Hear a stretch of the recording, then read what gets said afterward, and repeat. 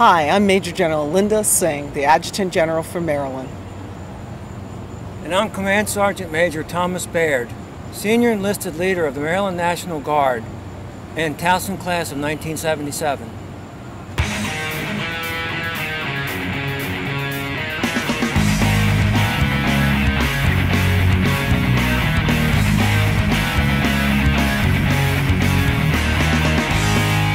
We are pleased to be partnering with Towson University, not only for today's Military Appreciation Day, but year round in education and benefits and the opportunities to serve.